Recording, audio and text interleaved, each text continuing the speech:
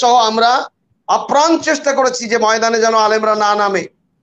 আরে আগে অনেকবার ময়দানে আলেমরা নেমে নেমে ক্ষতিগ্রস্ত হয়েছে। এর আগে যে সকল আলেমরা গভর্নমেন্টের জন্য আতঙ্কের কারণ, সে সকল আলেমদেরকে এই ফাঁদ দিয়ে জেলখানায় আবদ্ধ করার যথেষ্ট সুযোগ রয়েছে এবং সম্ভাবনা রয়েছে।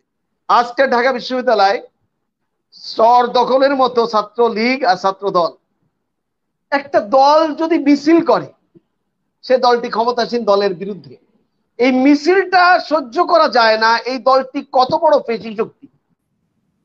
যে এগুলোকে খারিজ করে দেওয়া হোক এবং যারা এই দেশে সংঘাত সৃষ্টি করতে চায়, এই মায়ের অবৈধ সন্তান এবং বিতর্কিত সাবেক বিচারপতি, তাদেরকে আইনের আওতায় এনে বিচারের কাঠগড়ায় দাঁড় করানো হোক। যদি এই কার্যক্রম না করা হয়, তাহলে এই চোখের পানি বিথা যাবে না যাবে না যাবে না। ইভিএম এর বিষয়ে যা বলেছেন সিইসি চিফ ইলেকশন কমিশনার এবং আনিসুর রহমান। তো তারা দুইজন এখন খেলাখেলি করতেছে।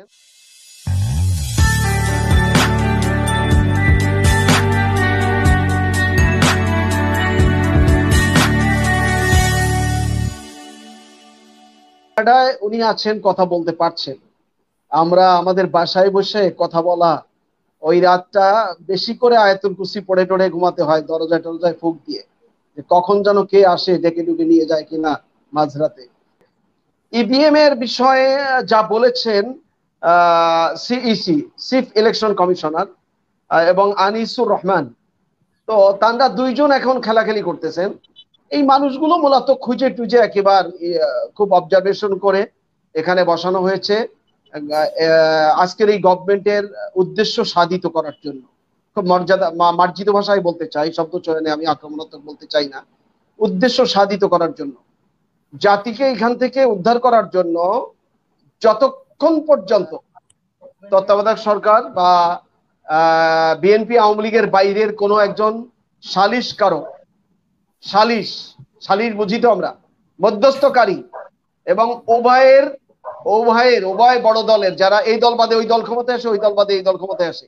তাদের সমঝোতায় যতক্ষণ পর্যন্ত মধ্যস্থকারী একজন সরকার প্রধান সহ একটা টিম না বসবে, ততক্ষণ পর্যন্ত ইভিএম হোক আর রাতের ভোট দিনে হোক আর দিনের ভোট রাতে রাতে হোক। বিচার, ফয়সালা, সবকিছু মানি তালগাছ আমার। সে পদ্ধতিতে নির্বাচন হবে গৃহীত করা হলো। এগুলো একটা গোলক দাদার মধ্যে জাতিকে ফেলে রাখা। গোলক দাদার মধ্যে মানুষ মানে এর মধ্যে নিয়ে গোলপাক্কর খাবে আর যা করা দরকার, কামারের যা গড়া দরকার তা করে সামনের দিকে এগিয়ে যাবে। এটাই হলো টার্গেট এত চালাকি ভালো না। এত এত এত অপকৌশল করা ভালো না। জাতির এই ক্রান্তিকালে আল্লাহ তালা আমাদের সকলকে হেফাজত করুন এবং সরকার প্রধান যিনি, তিনি তো আগে ক্ষমতায় ছিলেন, এবার তিন টার্ম ক্ষমতায় থাকলেন। আমার মনে হয় খায়েস একটু কমানো দরকার। তখন সিদ্ধান্ত নেবেন, তখন কিন্তু জনগণ উদ্বেলিত হবে, ময়দানে নামবে কোন সময় দেখবেন বুঝবেও না যে কোন কোন পায়ের নিচের থেকে মাটি সরে গেছে। এরকম অবস্থা কিন্তু হতে পারে এবং হয়ে থাকে। হ্যাঁ পৃথিবীর যুগে যুগের জন্য আমার বিনয়ের সাথে অনুরোধ হলো, এই ইভিএম টেম এই সমস্ত অপকৌশলের আগে অন্তত রাজি হয়ে যাওয়া দরকার যে আপনারা প্রস্তাব দেন কারা কারা ক্ষমতায় থাকবে। আমরাও প্রস্তাব দিই। মধ্যস্থকারী চিফ জাস্টিস যিনি আছেন তিনি হতে পারেন, আরও যারা আছেন তারা হতে পারেন। বাংলাদেশে এখনও অনেক আমানতদারি লোকজন আছে। যারা আপনি যিনি ইভিএম এর ব্যাপারে চ্যালেঞ্জ করলেন সিসি অথবা ইলেকশন কমিশনার, যিনি করেন, এই চ্যালেঞ্জটা একটা অশুভ কৌশল, সেটা আমি একটু জাতিকে এবং আপনাদের মাধ্যমে জানাতে চাই। এই ব্যক্তি বিতর্কিত, অবান্তর কথা বলার কারণে, অসংলগ্ন অসংলগ্ন কথা বলার কারণে, যাতে করে বাংলাদেশের বিরোধী যত দল, তারা এই ব্যক্তিকে, এই সিইসি কে বা এই ইলেকশন কমিশনারকে অপসারণ করার জন্য আন্দোলনে যেন ঝাঁপিয়ে পড়ে। আন্দোলন যেন এদিকে চলে যায়। হ্যাঁ? তাকে অপসারণ করার জন্য এই আন্দোলনে যখন ঝুঁকে পড়বে, তখন জাতির অন্য যে বিষয়, যেমন কেয়ারটেকার সরকার অথবা মধ্যস্থকারী সরকার, যার আন্দোলন আওয়ামী লীগ এবং জামাত ইসলামী একসাথে করেছিল। এখন তারা অন্য কথায় চলে যাব, এই জন্য যাচ্ছি না সেদিকে। সেই আন্দোলনের দিকে মানুষ যেন, বিরোধী দল যেন আর নজর না রাখতে পারে।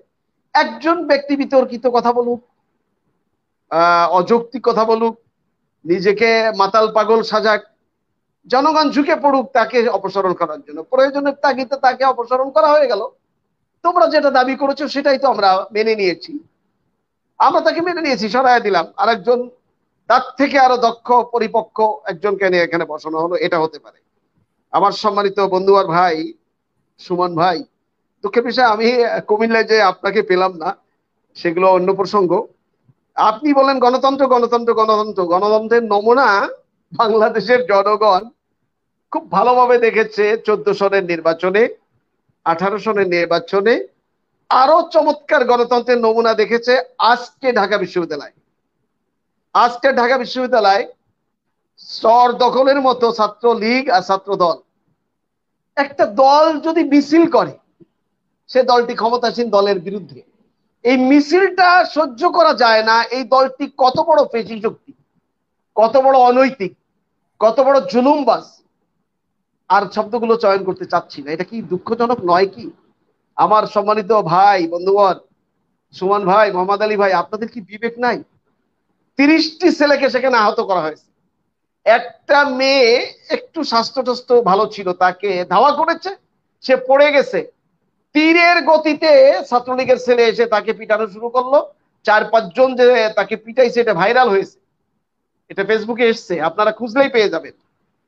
এরপরে গণতন্ত্র এই গভর্নমেন্টের আন্ডারে নির্বাচনে যে গণতন্ত্র? এই গণতন্ত্র আমরা দেখেছি। একজন ঢাকা বিশ্ববিদ্যালয়ের ছাত্রী, আমাদের একজন মেয়ে বা বোন, যেহেতু আমাদের, আমার ছেলে, বড় ছেলে বিএসসি ইঞ্জিনিয়ারিং পাশ করেছে আরও দুই বছর আগে। তাহলে আমাদের মেয়ে। আমাদের এই মেয়ে, আমাদের এই স্নেহের মেয়ে, একটা বাঁশের লাঠি হাতে নিয়ে চর দখলের মতো সে বলতেছে, অমুককে আমি একাই একশো জন।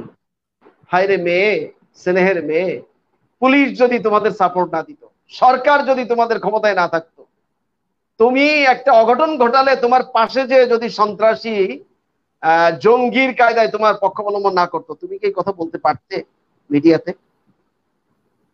বাংলাদেশের কি অবস্থা? কথা বলছি না যে উন্ডা করেছেন, উনি করেছেন, তা না।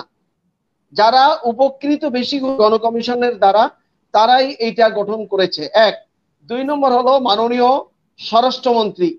মাননীয় বলছি ভোট ছাড়া স্বরাষ্ট্রমন্ত্রী, ভোট ছাড়া প্রধানমন্ত্রী। তারপরেও মাননীয় সংবিধানের অজুহাতে আপনারা শপথ নিয়ে ক্ষমতায় আছেন মাননীয় প্রধানমন্ত্রী একদিন আগে বক্তব্য দিলেন যে তিনি সেই বক্তব্যের মধ্যে তুচ্ছ তাচ্ছিল্য করে তিনি গণকমিশনের পক্ষ নিয়ে কথা বললেন। এবং সেখানে তিনি বলেছিলেন যে আলেমুল আমাদেরকে এদেরকে বলেছে যে ধর্ম ব্যবসায়ী এই শব্দটা প্রধানমন্ত্রী বলেছিলেন। তো দেওয়া হোক। একটা নতুন কমিশন করা হোক, নতুন এজেন্সি করা হোক, তদন্ত করা হোক। একশো ষোলো জন আলেমের মধ্যে ঢাকা শহরে কয়জন আলেমের আবাসন আছে? বিল্ডিং আছে, প্রাইভেট গাড়ি আছে। এবং ড্রাইভারের বেতন দিয়ে প্রাইভেট পরিচালনা করে। আমি যদি চ্যালেঞ্জ করি, তাহলে আপনারা আমি মনে করি একশো ষোলো জন আলেমের মধ্যে বিশ তিরিশ জন আনকে পাবেন কিনা এরকম নিজের অ্যাপার্টমেন্ট আছে অথবা বিল্ডিং আছে। প্রধানমন্ত্রী বললেন এরকম যে, আলেমদেরকে তুচ্ছতা ছিল করে তিনি সংসদে দাঁড়িয়ে কথা বলেছেন। এটা ডকুমেন্ট আছে। আপনারা এটা শুনবেন ভালো করে। আর স্বরাষ্ট্রমন্ত্রী যখন একটা অনুষ্ঠান করে সেখান থেকে বেরিয়েছেন, তখন সাংবাদিকরা তাকে ঘিরে ধরেছে। তিনি বললেন যে, গণকমিশনের কোনো আইনি ভিত্তি নাই। মাননীয় স্বরাষ্ট্রমন্ত্রী, কয়দিন আগে তাদের লিখিত এই বাইশশো পৃষ্ঠার যে বইটা, পাণ্ডুলিপিটা, এটা চিফ গেস্ট হিসেবে কে উপস্থাপন করেছে। কেউ এসব যুক্তির যুগে আমরা ডকুমেন্ট হিসেবে দেখেছি। তাহলে তিনি এই কথা কেন বললেন? এই কথা বললেন কি চাপে পড়ে? না, চাপে পড়ে বলেন নাই, বুঝতে হবে। তিনি এই কথা বলে আলেমরা যে তোড়জোড় করছিল, আন্দোলন, সংগ্রাম, কথাবার্তা, মানুষের ভিতর যে প্রচণ্ড আচরণ ফুটে উঠতে সহ আমরা আপ্রাণ চেষ্টা করেছি যে ময়দানে যেন আলেমরা না নামে। আরে আগে অনেকবার ময়দানে আলেমরা নেমে নেমে ক্ষতিগ্রস্ত হয়েছে। এবং একজন সাবেক আমি চার ঘণ্টা ছিলাম একদিন থেকে চেষ্টা করেছি যে আলেমরা যেন ময়দানে আন্দোলনে না নামে। যেখানে যেখানে কথা বলা দরকার, সেইখানে সেখানে কথা বলে আন্দোলন করার থেকে বিরত রেখেছি। যে আমরা বুদ্ধিভিত্তিক এই কাজগুলোর আমি নিশ্চিত, বিশ্বাস রাখি, আমার আস্থা আছে যে গভর্নমেন্ট এই স্বরাষ্ট্রমন্ত্রী মহোদয়কে দিয়ে আইনি ভিত্তি না এই কথা বলে তিনি আলেমদেরকে স্তব্ধ করে রেখে আগে যে সকল আলেমরা গভর্নমেন্টের জন্য আতঙ্কের কারণ সে সকল আলেমদেরকে এই ফাঁদ দিয়ে জেলখানায় আবদ্ধ করার যথেষ্ট সুযোগ রয়েছে এবং সম্ভাবনা রয়েছে। সম্ভাবনা আলেমরা চুপচাপ থাকবে। এক একজন বড় বড় আলেমকে এক এক এক এক দিন এক এক জায়গা থেকে এক এক রাত্রে এক এক জায়গা থেকে ধরে ধরে জেলখানায় ঢুকায় রাখা হবে। এই কার্যক্রম করার জন্য হয়তো বা স্বরাষ্ট্রমন্ত্রী এই কথাটা বলে থাকতে পারেন। যদি সত্যই তিনি বলে থাকেন যে গণ কমিশন, কোনো ভিত্তি নাই, আইনি ভিত্তি নাই। তাহলে তাহলে যে দুদকে যে ফাইল জমা দেওয়া হয়েছে, এটা অনৈতিক, অসাংবিধানিক, এটা কোনো মানে সরকারের কোনো অনুমোদিত কোনো এজেন্সির দ্বারা এই তদন্ত হয় নাই। অতএব ঢালাওভাবে দেশের আল্লাহওয়ালা আলেমদেরকে তালিকায় নিয়ে কিছু শুকরা আলেমরাও আছে, আলেম নামের, আলেমের লিবাসদারি কিছু ব্যক্তিদের নামও এখানে আছে। ম্যাক্সিমাম মহাক্কিক মহাক্কিক আলেমদের নাম এখানে দিয়ে দুদক দুর্নীতি দমন কমিশনে জমা দেওয়া। এই ফাইল খারিজ করতে হবে এবং সারা দেশের সমস্ত দেখিয়ে যে বক্তব্য দিতে হবে যে এটা খারিজ করা হয়েছে, এটা অনৈতিক যেহেতু, এটা আইনের কোনো ভিত্তি নাই সেহেতু, এটাকে খারিজ করা হলো, এটাকে অকার্যকর করা হলো। ছিল এরশাদকে পতনের জন্য। এরশাদ সাহেব অনৈতিক ভাবে ক্ষমতায় ছিল, আমরা স্বৈরাচার বলি। আওয়ামী লীগ স্বৈরাচার বলে। তখন সিদ্ধির জন্য না, তখন আচারে পরিণত হয়ে যায়।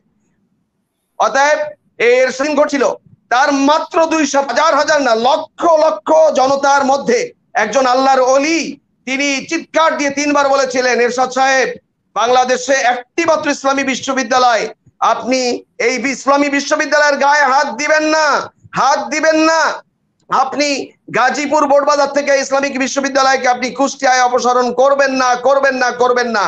আপনি যদি ইসলামিক বিশ্ববিদ্যালয়ের গায়ের হাত দেন, এদেশের তাওহিদি জনতার বদোয়ায় আপনার পতন অনিবার্য পতন অনিবার্য পতন অনিবার্য।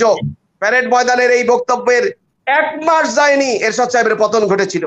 এরশাদ সাহেবের পতন ঘটেছিল।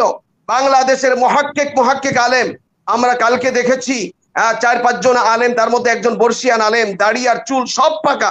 সাদা জামা, সাদা পায়জামা এবং সাদা টুপি মাথায় দিয়ে তিনি দুদকে যে দুদকের সর্বোচ্চ অথরিটির কাছে তিনি আকুতি জানিয়েছেন যে এগুলোকে খারিজ করে দেওয়া হোক এবং যারা এই দেশে সংঘাত সৃষ্টি করতে চায়, এই মায়ের অবৈধ সন্তান এবং বিতর্কিত সাবেক বিচারপতি, তাদেরকে আইনের আওতায় এনে বিচারের কাঠগড়ায় দাঁড় করানো হোক। যদি এই কার্যক্রম না করা হয়, তাহলে এই চোখের পানি বিথা যাবে না যাবে না যাবে না। মাননীয় উপজেলা চেয়ারম্যান মেজর অবসরপ্রাপ্ত মোহাম্মদ আলী সুমনের মাধ্যমে এবং এই প্যানেলের মাধ্যমে, আপনার এই টকশোর মাধ্যমে গোটা দেশবাসীকে আমি সতর্কবার্তা এভাবে আল্লাহর উপর আস্থা রেখে পেশ করেই আমি আমার বক্তব্য শেষ